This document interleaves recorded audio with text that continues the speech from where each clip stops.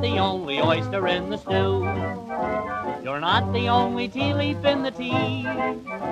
However, I'm convinced, completely and fully and firmly convinced, that you're the only one for me.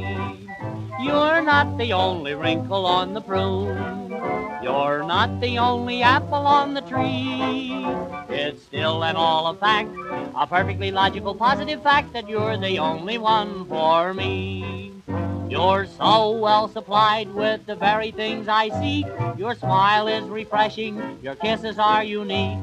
When you're around, I'm susceptible and weak. I love you, so to speak.